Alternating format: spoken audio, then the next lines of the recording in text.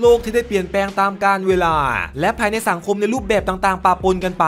การจะใช้ชีวิตให้ปลอดภัย มันก็กลายเป็นความจำเป็นทันที โดยเฉพาะบุคคลสำคัญที่มีหน้าที่สำคัญสำคัญ ไม่ว่าจะเป็นผู้นำประเทศ มหาเศรษฐีศิลปินดารา รวมไปถึงเซเลบริตี้ยิ่งต้องระมัดระวังเป็นพิเศษ คนเหล่านี้มักล้วนอยู่ในที่สว่าง จึงเป็นจุดเด่นและเป้านิ่งของการเกิดเหตุร้าย เลยมีความจำเป็นอย่างยิ่ง ที่ต้องคอยมีทีมบอดี้การ์ดไว้อารักขาเพื่อดูแลความปลอดภัยในทุกที่ เดินไปนู่นไปนี่จะได้หายห่วง แน่นอนนะครับว่าบอดี้การส่วนใหญ่ ต้องมีฝีไม้ลายมือที่ไม่ธรรมดาอยู่แล้ว ตัวใหญ่ล่ำกล้ามต้องโต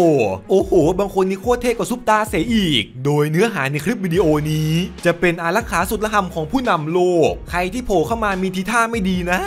รับรองเสร็จทุกลาย และถ้าใครดูแล้วชอบใจชอบใจ ผมฝากกดไลค์และติดตามไว้ด้วยเด้อ ถ้าพร้อมไปรับชมความสนุกแล้วลุยกันเลย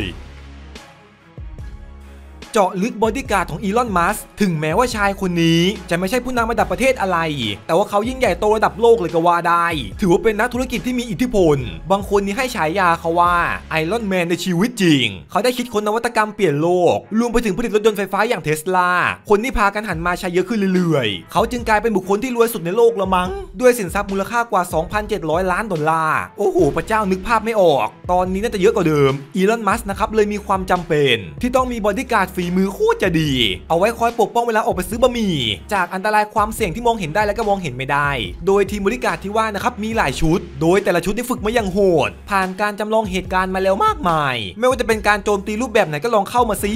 บอดี้การ์ดอีลอนมัสก์พร้อมจะขยี้ทุกเมื่อ การใช้ปืนนี้ได้ทุกประเภท โจมตีระยะใกล้ระยะไกลเผลอๆโหดยิ่งกว่า FBI เสียอีก บอดี้การ์ดพวกนี้เขาฝึกแล้วฝึกเล่าฝึกซ้ำซากไปมาให้ชำนาญ คนเหล่านี้พร้อมอุทิศเวลา 24 ชั่วโมง ตลอด 365 วันหรือ366 วันก็ตามแต่ ให้แด่ชายคนนี้ที่มีชื่อว่าอีลอนมัสแน่นอนนะครับว่าเงินเดือนนี่โอ้โหสูงปี๊ดเฉลี่ยต่อปีนี้ประมาณ 5 0 0 0 0 0ถึง6 0 0 0 0เหรียญดอลลาร์สหรัฐแต่เอาตี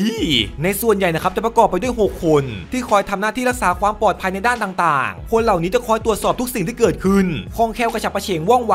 สายตานี่ยิ่งกว่าเหยี่ยวเสียอีก มีความพร้อมทั้งร่างกายจิตใจและไหวพริบ นี่ก็ไม่ใช่เรื่องง่ายเด้อกับอาชีพบอดี้การ์ด คิมจองอึนทีมบอดี้การ์ดที่แข็งแกร่งดุจรั้วเหล็ก แน่นอนนะครับระดับผู้นำเกาหลีเหนือ กับการรักษาความปลอดภัยนี่หวยต้องโนหนึ่งอยู่แล้ว ทุกอย่างต้องเข้มงวด ไม่ว่าจะเป็นการเดินทางไปในที่ต่างๆ ทั้งในและนอกประเทศตัวเอง มันอาจดูแปลกตาไปสักหน่อยสำหรับประเทศอื่นๆ ก็คือที่นายคิมจองอึนซึ่งเป็นผู้นำเกาหลีเหนือ ได้มีทีมบอดี้การ์ดกว่า 12 คน วิ่งตามมาหน้าข้างรถของตัวเอง เพราะว่าลำพังรถยนต์กันกระสุนก็จะช่วยให้เขาได้ปลอดภัยสำหรับการลอบสังหารไปแล้วรอบหนึ่งแต่ว่าครั้งต่อไปอาจไม่แน่ก็เลยให้คนมาประกบข้างนี้แหละ ภาพและคลิปวิดีโอนี้ได้สร้างความแปลกประหลาดใจให้กับคนทั่วโลก และก็สื่อหลายสำนักด้วย อย่างกับเมื่อช่วงเดือนเมษาปี 61 ที่ผ่านมา ที่นายคิมจองอึนได้เดินทางมาร่วมหารือสุดยอดทางประวัติศาสตร์ กับประธานาธิบดีมุนแจอิน ซึ่งเป็นผู้นำเกาหลีใต้เดินทางมาที่หมู่บ้านปันมุนจอม อ่านตอนแรกนึกว่าประจอม ซึ่งเป็นเขตปลอดทหารริมชายแดนของสองประเทศ เกาหลีใต้เดินมาอย่างสบายคลายกฎส่วนเกาหลีเหนือนี่หดอยู่ในรถการกระสุน แถมยังวุ่นให้บริการวิ่งตามอีก สื่อโซเชียลนะครับต่างตีแผ่ภาพนี้ออกไป จับนำมาเปรียบเทียบกันดู และมันก็ไม่ใช่แค่นั้นนะสิ ยังมีข่าวหลุดออกมาแววๆว่าอาหารที่นายคิมรับประทานเข้าไป ต้องมาจากการปรุงจากเชฟที่เดินทางมาจากเกาหลีเหนือเท่านั้นทำไมจากจากมันเยอะจังว่าอันนี้ประโยคเนี้ยเรียกได้ว่าระแวงทุกฝีก้าวที่นายคิมทำลงไป ก็เพื่อไม่ให้เกิดเหตุการณ์ที่ไม่คาดฝันอีกทางหนึ่ง สมเด็จพระสันตะปาปา ก็คือตำแหน่งประมุขสันตสำนัก ซึ่งตั้งอยู่ที่นครรัฐวาติกัน กรุงโรมประเทศอิตาลี มีอำนาจสูงสุดในการปกครอง โดยตำแหน่งพระสันตะปาปา ได้มาจากการประชุมรับสุดยอด โดยโหวตจากพระคาร์ดินัน ประมุขของพระศาสนาจักร แต่ละประเทศทั่วโลกประมาณ 120 องค์ แน่นอนนะครับว่าพระองค์เป็นบุคคลสำคัญ แถมยังดำรงชีวิตแบบสมถะประมาณว่าชอบความเรียบง่าย มักเดินทางโดยใช้รถประจำทาง หรือแม้แต่รถไฟฟ้าใต้ดิน เพื่อไปปฏิบัติศาสนกิจ และเยี่ยมเยียนคนยากจนทรงประทับในห้องที่เรียบง่ายทำอาหารด้วยพระองค์เอง ประชาชนเห็นอย่างนี้ก็ยิ่งรักใคร เสด็จไปไหนก็โหยคนเต็ม แน่นอนจึงต้องมีทีมรักษาความปลอดภัย ไม่ว่าจะเป็นเหล่าตำรวจกว่าร้อยนาย ที่ยืนเรียงรายเต็มถนน พร้อมกับทีมบริการฝีมือดี ที่คอยประกบตามติดอยู่ไกลๆ หูตาแต่ละคนนี่โหยอย่างไวดูสิกระตือรือร้นสุดๆอะใครจะเข้ามาใกล้หรือว่าทำอะไรที่ดูแปลกๆกาดจะคอยเข้ามาแหกดันออกไป ในส่วนใหญ่จะเป็นนักท่องเที่ยวอะ ที่ชอบอยากรู้อยากเห็นไปหน่อย เวลาพระสันตะปาปาจะออกไปเยือนประเทศต่างๆ ชุดบริการฝีมือดีก็จะออกตามไปด้วย ถึงแม้จะนั่งอยู่ในรถ แต่ก็ยังมีคนคอยเดินตามประกบข้างอีก ไม่ใช่แค่คน 2 คน แต่นั่นประมาณ 10 กว่าคนเลย อย่างกับชายคนหนึ่งต้องการให้สมเด็จพระสันตะปาปา อวยพรให้ลูกชายเขาหน่อย บริการก็ต้องทำหน้าที่ไปอุ้มมา แล้วยื่นให้พระสันตะปาปาอวยพร บรรยากาศตอนนั้นเต็มไปด้วยความสุข และก็ยิ้มแย้มของทุกคน แต่ถึงอย่างไรก็ตามทีเถอะ บางเหตุการณ์พระสันตะปาปาก็ตัดสินใจเอง ว่าจะเข้าหาผู้คนให้ใกล้ชิด ถึงแม้ว่าจะเป็นความเครียดของบริการก็ตามทีเถอะรายละเอียดของอันดับนี้นะครับค่อนข้างลึกซึ้ง หากข้อมูลผิดพลาดตรงไหนไปก็ต้องขออภัยด้วยเด้อ อดีตประธานาธิบดีชาวตุรกี ที่มีชื่อว่าเลเจปไตยิปแอโดอัน เขาเป็นนายกตั้งแต่ปี 46 ถึงปี 57 ตลอดเวลาที่คอยดูแลประเทศ ชายคนนี้รับการคุ้มกันโอ้โหโคตรจะแน่นหนา เวลาจะไปไหนมาไหนขบวนโคตรจะใหญ่ ที่ผมทำเสียงอลังการขนาดนี้ ก็คือว่ามันเยอะจริงๆรถตำรวจที่คอยนำและปิดขบวน ส่วนใหญ่จะวิ่งมาด้วยความเร็วกันทั้งนั้นเลย ไฟนี้แลบแป๊บๆเต็มท้องถนน เท่าที่นับดูมากกว่า 10 คัน 20 คันแน่นอน ในบรรดาคนที่คอยดูแลความปลอดภัย ก็ยังมีมือสไนคอยส่องอยู่ตรงด้านบนเรียกได้ว่าคนที่จะเข้ามาประชิดตัว น่าจะเป็น0%ได้อะคนเหล่านี้เขาโหดจริง ๆ เด้อพร้อมจะปิดฉากยิงเมื่อใดก็ได้ หากมีสิ่งที่อันตรายคุกคามประธานาธิบดี แต่ว่าชายคนนี้เขาก็แปลกอยู่เด้อส่วนใหญ่คนระดับนี้จะต้องเดินทางด้วยรถหุ้มเกาะแต่ว่าบางงานบางโอกาสชายคนนี้เดินทางด้วยรถบัส ที่มีคนเฝ้ารักษาการอยู่บนหลังคาไอ้หยาดูเท่จริงๆเลย แต่ถึงอย่างไรก็ตามทีเถอก็ยังมีคาราวานตามกันมาเป็นขบวน ไม่รู้ว่ามันดีหรือไม่ดีวะเนี่ยเอารถใหญ่มาขับไปเปลืองน้ำมันมากทำไม แต่ถึงอย่างไรก็ตามทีอดีตประธานาธิบดีตุรกีคนนี้ ก็เคยจอดรถช่วยชีวิตคนกระโดดสะพาน สร้างความตื้นตันใจให้แก่ประชาชนในยุคนั้นอย่างมาก เขาไปเกลี้ยกล่อมจนชายคนนี้เปลี่ยนใจ พร้อมกับเข้ามาทักทายจับมือสวัสดี เอาละอันดับนี้ก็มีเท่านี้แหละไปรับชมความโหดของบรรยากาศในอันดับต่อไปกันดีกว่า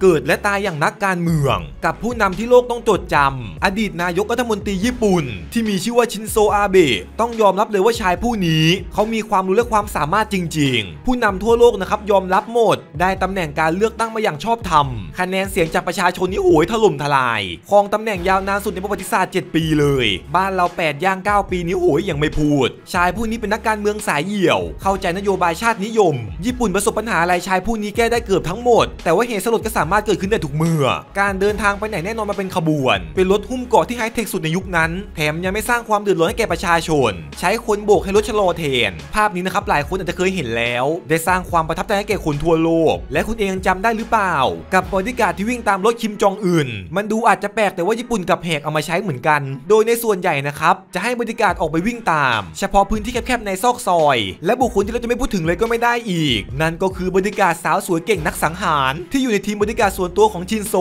มองเผินๆนะครับเธอดูสวยสง่า แต่ใครจะไปรู้ว่าโอ้โหโคตรเก่งอย่างกันในหนังอะ เธอสามารถปราบชายชะกันได้ 10 คน ด้วยมือเปล่าอย่างสบายๆเลย สังหารคนด้วยปืนเพียง 0.2 วินาที มีความสามารถหลากหลายด้าน คาราเต้ เทวันโด เคนโด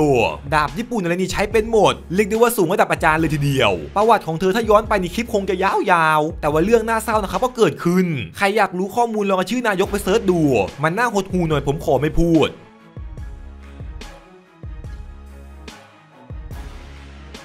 นาเลลาโมที นายกรัฐมนตรีประเทศอินเดีย ใครจะไปคิดล่ะครับว่าอินเดีย มีบริการและการรักษาความปลอดภัย ที่แบบไว้ใจได้และโหดจัดเลยก็ว่าได้ แน่นอนว่าชายคนนี้มีความสำคัญ ต้องคอยจัดระบบราชการ และภาษีของประชาชน ให้มีประสิทธิภาพมากที่สุด ถึงแม้ว่าในสมัยก่อน เขาต้องเล่ขายของบนรถไฟกับพ่อทำงานหนักเพื่อมาเลี้ยงพี่น้องกว่าอีก 6 คน ด้วยความยากจนนะครับชายผู้นี้ถึงสู้หาความรู้ใส่หัวจนในปัจจุบัน ได้กลายมาเป็นนายกในที่สุดประเทศกำลังขยายตัวอย่างรวดเร็วทำให้เขากลายเป็นผู้นำที่ประเทศอื่นนะครับอยากเป็นมิตรด้วย เพื่อส่งเสริมเศรษฐกิจในประเทศอะเขาจึงต้องเดินทางไปมาอยู่เรื่อย เลยต้องการบริการฝีมือดี ที่คอยคุ้มกันและคุ้มครองให้ชายผู้นี้ปลอดภัย บริการแต่ละคนนี่พกปืนพกสไนกันเลยเด้อเอามาโชว์กันให้เห็นเห็นไปเลย คนที่เห็นจะได้เกรงกลัว คนส่วนใหญ่ถูกคัดเลือกมาจากตำรวจอินเดีย และกองกำลังทางรถไฟอีก 3,000 คน ค่าใช้จ่ายบริการนี้โหยหนักเอาเรื่อง ตกปีละ 83 ล้านเหรียญดอลลาร์สหรัฐนู่นน่ะหลายคนนะครับอาจจะมองว่าประเทศนี้มีประชากรเป็นอันดับ 2 ของโลกน่าจะแบ่งเงินไปใช้ส่วนนี้มากกว่าเปล่าแถมรถนำขบวนแต่ละคันนะโอ้โห BM อย่างนั้นน่ะ มีแต่หรูๆทั้งนั้น หลายคนนะครับมองว่าค่าใช้จ่ายไม่ค่อยสมเหตุสมผลเท่าไหร่ แต่ถึงอย่างไรมันก็ดูสำคัญอยู่เด้อแถมการเฝ้าระวังยังมีฮออยู่ด้วยเรียกได้ว่าจัดหนักจัดเต็มเลยแหละดูโหดน่าเกรงขามกว่าหลายประเทศ ที่มีความมั่งคั่งทางการเงินเสียอีก บอดี้การ์ดสุดเข้มของมาร์คซักเคอร์เบิร์กชายผู้นี้เราจะไม่พูดถึงไม่ได้เลย ชายคนนี้เป็นคนที่เรียบง่าย ชอบใส่เสื้อยืดสีเทาดูธรรมดาธรรมดา แต่เขาคือมหาเศรษฐีระดับโลก ครอบครองสินทรัพย์กว่า 72,000 ล้านดอลลาร์ ประมาณ2ล้าน5แสนล้านบาทปาดผมนึกภาพไม่ออก ชายผู้นี้ซื้อที่ดินกว่า 2,000 ไร่ ไว้บนเกาะคาวายรัฐฮาวาย มูลค่าเกือบ 4,000 ล้านบาทเอาตีรถสปุงรถสปอร์ตบ้านเบิร์นนี่ไม่ต้องพูดถึงเรียกได้ว่าชายผู้นี้สุดตาราง แน่นอนนะครับว่าสินทรัพย์มหาศาลขนาดนี้ ก็ต้องมีบอดี้การ์ดไว้คอยรักษาความปลอดภัย คอยคุ้มกันทั้งที่บ้านและระหว่างการเดินทาง เขาจ่ายเงินกว่า 15 ล้านดอลลาร์ประมาณ 510 ล้านบาทไทยอะเพื่อจ้างคนคอยคุ้มครองตัวเขาเอง โดยบอดี้การ์ดนะครับมีประมาณ 20 คนทำงานเป็นกะตลอด 24 ชั่วโมง ในบ้านห้องนอนที่เขาพักอาศัยอยู่ ซึ่งบ้านของมาร์คซักเกอร์เบิร์กนะครับไม่รู้มีกี่หลังวันไหนอยากเปลี่ยนบรรยากาศก็บอกบอดี้การ์ดให้ย้ายตำแหน่ง ว่าคืนนี้จะไปนอนหลังไหนหลังไหนก็แจ้งไปขนาดตื่นเช้ามาจะไปออกกำลังกายบอดี้การ์ดสุดโหดร้ายก็วิ่งตามไปด้วย ตัวแทบติดกันเป็นปลิงอะใครจะมาชิ่งลักพาตัวมาร์คไปน่ายากหน่อย แล้วขนกันมาแต่ละที5-6คน เหมือนการ์ดจะมาตัวเปล่านะครับแต่ว่าไม่ใช่ เสื้อผ้าด้านในนี่ซุกซ่อนอาวุธเอาไว้เพียบ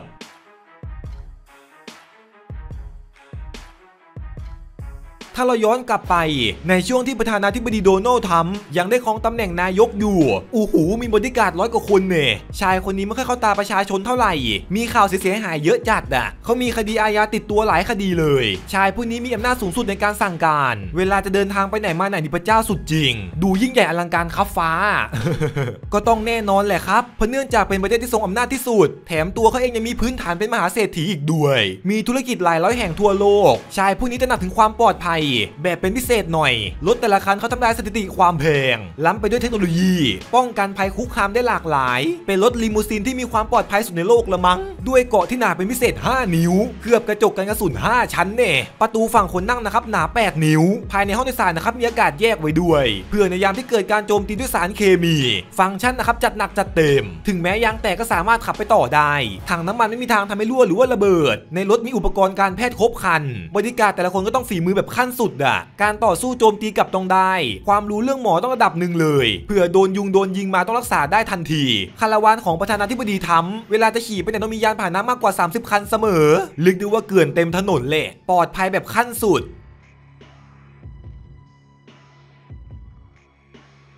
ไม่มีใครสามารถแตะต้องราชินีอลิซาเบธกษัตริย์ที่ครองราชยาวนานที่สุดในประวัติศาสตร์ ทุกฝีก้าวของราชินีล้วนปลอดภัยทหารคอยดูแลเอาใจใส่แบบเข้มงวด จนตัวพระราชินีเองรู้สึกอึดอัด เหมือนไม่เป็นตัวเองอย่างกับหุ่นเชิด เพราะว่าการรักษาความปลอดภัยมันละเอียดเกินไป